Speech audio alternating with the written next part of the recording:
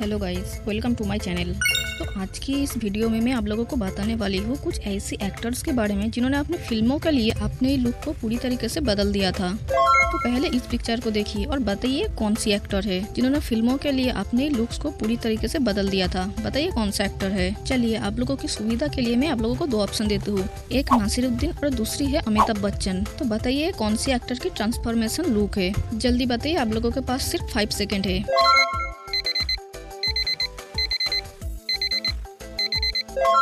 तो दोस्तों ये है बॉलीवुड की लेजेंडरी एक्टर अमिताभ बच्चन जी। तो इन्होंने अपनी मूवी पा के लिए अपने लुक्स की ट्रांसफॉर्मेशन किया था। ये मूवी 2009 में रिलीज़ हुआ था और इस मूवी में अमिताभ बच्चन जी के साथ उनके बेटे अभिषेक बच्चन और विद्या बालन भी थे। तो इस मूवी में अमिताभ बच्चन जी एक तेरह साल का बच्चे की रोल प्ले किया था, जिसको एक भयानक बीमारी था। तो अमिताभ बच्चन जी की इस लुक्स को देख के लोगों ने इसकी काफ़ी तारीफ़ किया था, क्योंकि ये लुक्स बहुत ज़्यादा परफेक्ट और बहुत ज़्यादा रियलिस्टिक लग रही थी। अब इस पिक्चर्स को देखिए और बताइए ये कौन है, ये कौन सी एक्टर है। तो आप लोगों को दो ऑप्शन देती हूँ। पहला है राजकुमार राव, विजय राज। बताइए कौन सी एक्टर है? आप लोगों के पास फाइव सेकेंड है।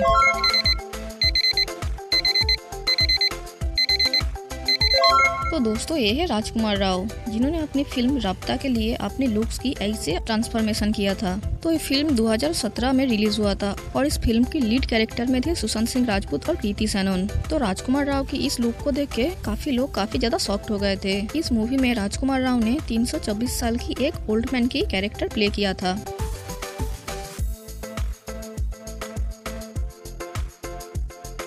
अब अगली फ़ोटोज़ देखिए और बताइए ये कौन से एक्टर है। तो आप लोगों को मैं दो ऑप्शन देती हूँ। तो पहला है ऋतिक रोशन और दूसरा है सानी दियल। तो आप लोगों के पास फाइव सेकेंड है, बताइए कौन सा एक्टर है?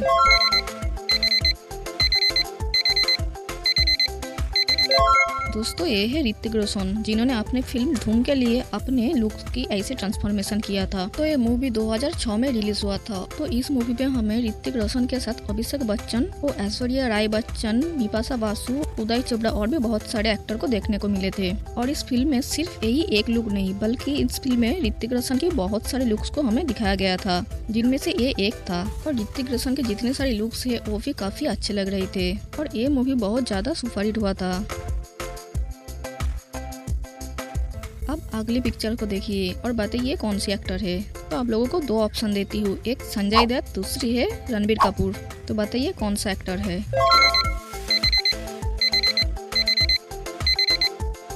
दोस्तों, ये है रणबीर कपूर, जिन्होंने अपनी फ़िल्म संजू के लिए ऐसे लुक ट्रांसफॉर्मेशन किया था।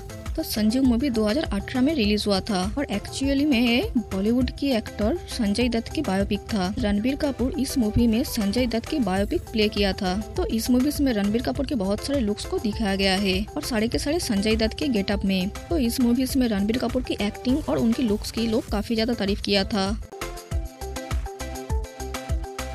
अब दोस्तों इस पिक्चर्स को देखिए और बताइए ये कौन सा एक्टर है। ये साउथ इंडस्ट्री की बहुत बड़ी सुपरस्टार है। बताइए कौन सा एक्टर है? तो आप लोगों को दो ऑप्शन देती हूँ। एक है सूर्या और दूसरी है विक्रम। तो बताइए कौन सा एक्टर है?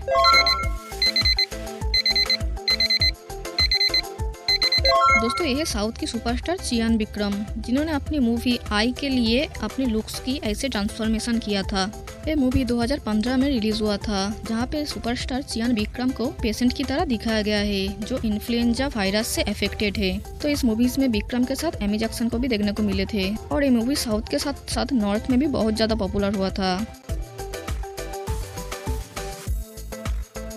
अब अगली पिक्चर को देखिए, और बताइए ये कौन सी एक्टर है। तो आप लोगों को दो ऑप्शन देती हूँ, पहला है लड़ा दत्ता, और दूसरी है कंगना रनौत। बताइए कौन सी एक्टर है?